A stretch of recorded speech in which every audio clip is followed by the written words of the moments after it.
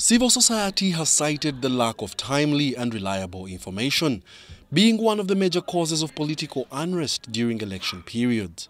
So beyond even suffering from access to information, I'd like to invite all of us to start thinking about what are we going to do with the elephant of disinformation and misinformation.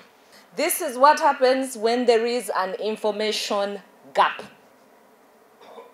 Information, maximum disclosure of information, as the principles are saying here, is very critical.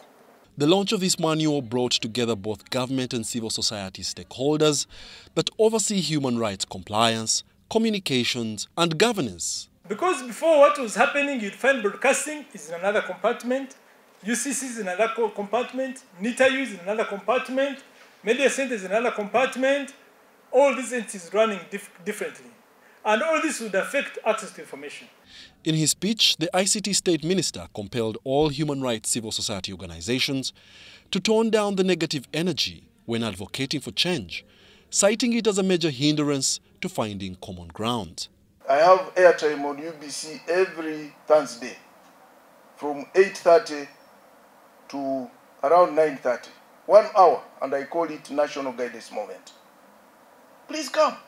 I'll give you one hour. You talk about these guidelines, you disseminate them so that our people can be equipped. All these complaints which you are talking about is that our people are not well equipped. The manual proposes nine various principles that shall guide over 46 civil society organizations in 24 African countries in advocating for the right of access to information, some of which include the principle of maximum disclosure, the principle of obligation to publish, and the principle of promoting open government, among others. Wadulo Makanold, UBC News in Kampala.